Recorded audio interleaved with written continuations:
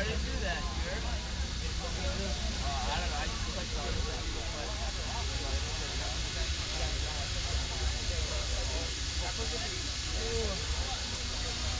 Dink off thing's good.